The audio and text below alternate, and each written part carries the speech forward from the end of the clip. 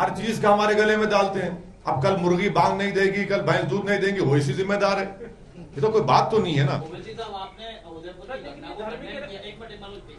आपने जो उदयपुर की घटना उसको कंडेम किया है अब आप क्या उसमें जो बीभत्स घटना हुई है जितना सभी देश में उसको कंडेम कर रहा है आपने कंडेम किया उसको अप्रिशिएट किया है क्या आप फांसी की मांग करेंगे दूसरा आपके जो लीडर हैं इम्तियाज़ अली खान-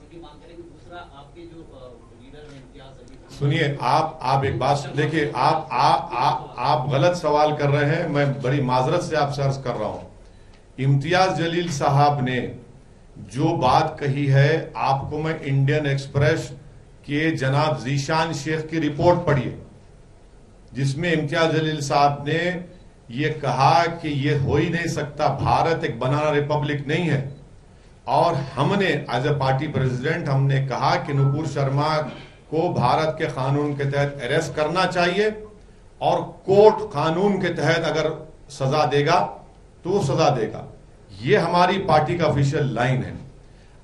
और एक बात याद रखिए, ये जो दो लड़कों ने जो घिनौनी हरकत की है, क्या इनकी ताइद में कोई जुलूस निकाला? क्या इनकी ताइद में कोई आ रहा है? कोई नहीं आ रहा है। जितने मुसलमानों के बड़े बड़े ऑर्गेनाइजेशन हैं। तो सुनिए सुनिए सुनिए सुनिए सुनिए सुन तो लीजिए सुन तो लीजिए।